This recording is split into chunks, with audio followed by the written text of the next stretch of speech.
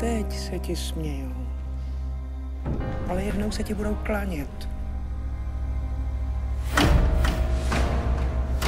Pozítří dopoledne vás čekají v ateliérech UFI.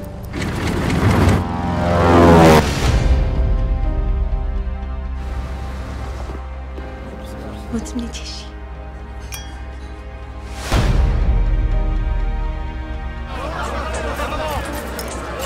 Jsem na tebe tak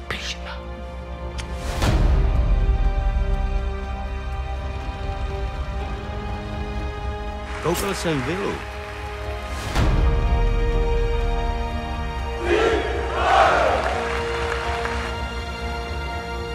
Kdo je ta žena? Lída Bárová.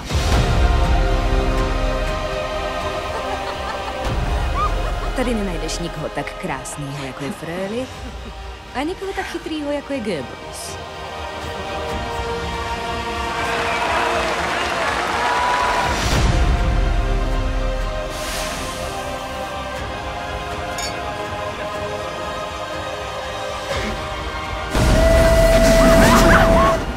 Nesmím natáčet? Lid si to nepřeje.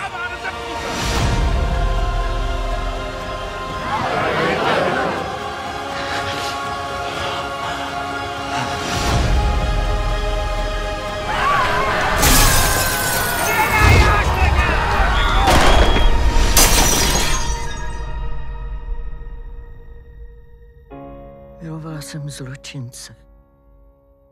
Ale to přece ještě není zločin.